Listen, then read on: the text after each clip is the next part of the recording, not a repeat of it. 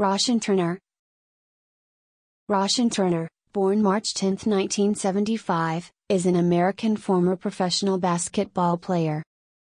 Turner is a veteran of the European leagues, playing for teams in the Netherlands, France, Israel, and Spain. In 2008 09 he was the top rebounder in the Israel Basketball Premier League.